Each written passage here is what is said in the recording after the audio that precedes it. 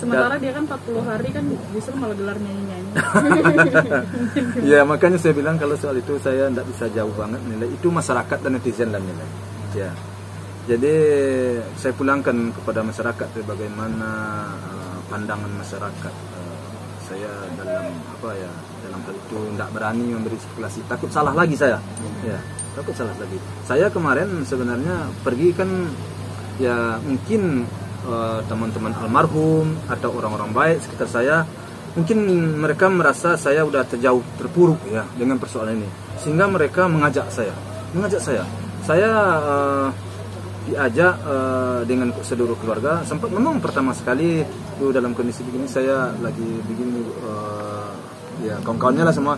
Nggak apa-apa mungkin dia kasihan. Keterpurukan saya dia kasihan. Dia tahu kan orang-orang ini kan tahu sebetulnya kan. Jadi uh, dengan uh, apa ya dengan penuh uh, apa penuh rasa kasihan mereka mengajak saya. Menurut saya uh, saya yalah saya mau. Dan saya berterima kasih sekali kepada mereka yang mengajak saya. Karena memang banyak sedikitnya uh, kepergian itu membuat uh, hati saya agak merasa ya harus memilah-pilah hidup ini. Nah, memang udah saatnya juga saya harus uh, bangkit ya harus kalau saya ikut kepurukannya kan saya, punya anak tiga lagi terus cucu udah lagi satu jadi apa yang dilakukan oleh uh, teman-teman almarhum atau Ibu Anggi yang mengajak saya, saya sangat berterima kasih. Itu suatu yang tidak bisa saya nilai. tidak istri saya sangat berterima kasih sekali bahkan anak saya.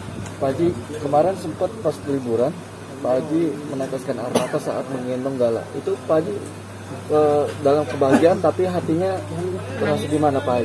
Menyentuh gimana? Ya, uh, sebenarnya situasi seperti itu sering deh. Itu salah satunya apabila anak saya cucu saya ini uh, dia uh, udah saatnya untuk tidur siang kadang-kadang dia kan rewel sedikit mungkin mau ingin tidur saya gendong itu selalu dia digendong saya uh, sebentar saya gendong. Itu membawakan perasaan saya orang tuanya papanya dulu saya seperti itu sama saya. Hmm. papanya dulu ke mana aja saya pergi hmm. itu selalu kan saya gendong. Kalau udah mau saya gendong dulu. Karena berat mama, jadi mamanya kurang kuat jadi saya gendong. Jadi dia selalu tidur seperti itu. Hmm. jadi saya selalu menyanyikan menyanyikan lagu itu. Jadi uh, cucu saya kemarin uh, spontan ya uh, saya karena uh, mungkin terbawa arus juga ya. Saya gendong saya dia tidur pas seperti itulah saya menggendong dulu papanya. Itu hmm. lama dulu ya selama perjalanan hidup saya ya anak anaknya yang namanya almarhum Febri ini kan uh, memang ke mana-mana dulu saya bawa saya bawa. Sebab dia antara dia dengan adiknya itu tujuh tahun eh, beda umurnya. Jadi selama tujuh tahun itu ke mana saya pergi selalu saya bawa saya gendong naikin ke pundak.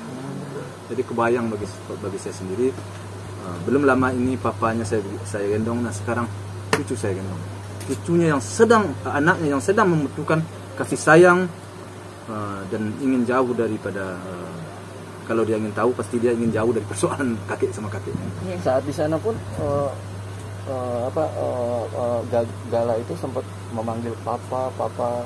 Gimana Pak Haji perasaannya saat tapi saat gembira liburan tapi dia memanggil papa, gimana Pak Haji? Ya, memang selalu dia manggil papa sama mama sampai sekarang memang belum hilang-hilang. Tapi saya hanya satu-satu jalan yang mengalihkan perhatiannya. Itu selalu dipanggil.